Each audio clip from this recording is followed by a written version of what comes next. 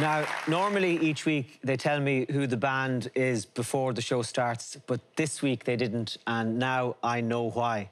Would you please welcome singing Trash Glam Baby, the Boomtown Rats?